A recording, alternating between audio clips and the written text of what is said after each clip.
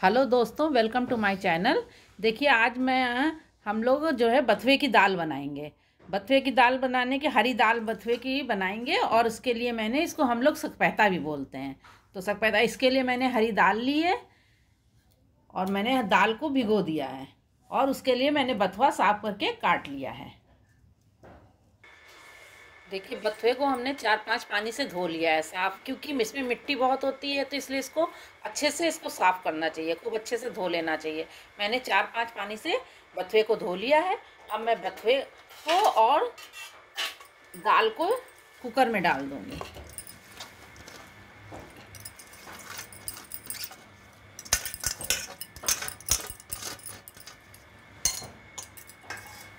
बथुए को दाल को कुकर में डाल दिया है।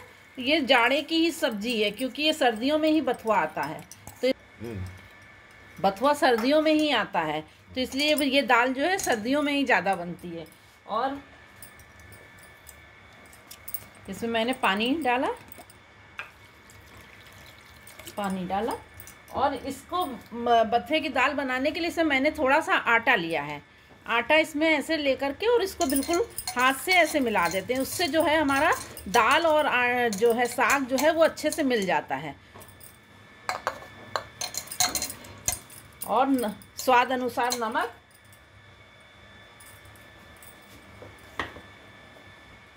स्वाद अनुसार नमक। थोड़ी सी अदरक। इसको डाल करके मैं गैस पे 20 मिनट के लिए चढ़ा दूँगी। 20 मिनट ये खूब अच्छे से पक जाएगी दाल। देखिए, मैंने दाल गैस पे चढ़ा दी है और अब 20 मिनट तक हमारे ये दाल पकेगी। इसमें पाँच छः प्रेशर आएँगे और इसको मैं धीमी कर दूँगी आज। और धीमी आँच में ये पकेगी 10 मिनट तक का।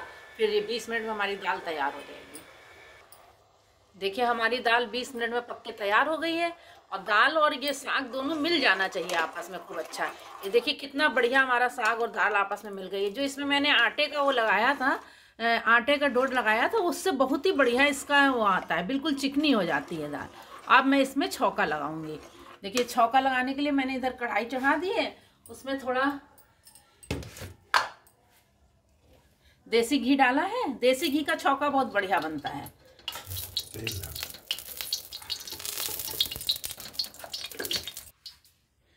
जो हमारा ये हो गया, घी हो गया तो मैंने इसमें लहसुन डाला।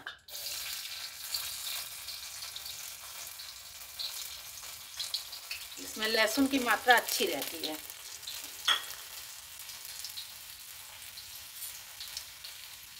हमारा ये छौका तैयार हो रहा है, लहसुन गोल्डन ब्राउन कलर के हो जाए, तब मैं इसमें अदरक डालूँगी।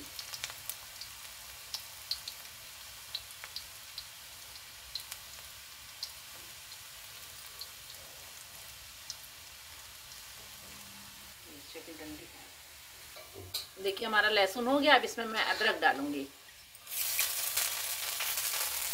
अदरक अदरक, मिर्च, लाल मिर्च, सूखी, और हींग थोड़ी सी हींग। और मैंने इसमें दाल को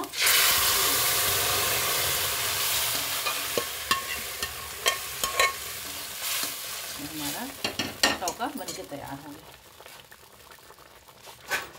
तो हमारी दाल बन के देखिए कितनी अच्छी मेरी दाल बन के तैयार हो गई सर्व करने के लिए। देखिए रेडी टू देखिए, हमारी दाल बन के तैयार हो गई है और ये सर्व करने के लिए मैंने निकाल लिए दाल। यदि आपको हमारी रेसिपी पसंद आई हो तो हमारे चैनल को लाइक और सब्सक्राइब करिएगा। Thank you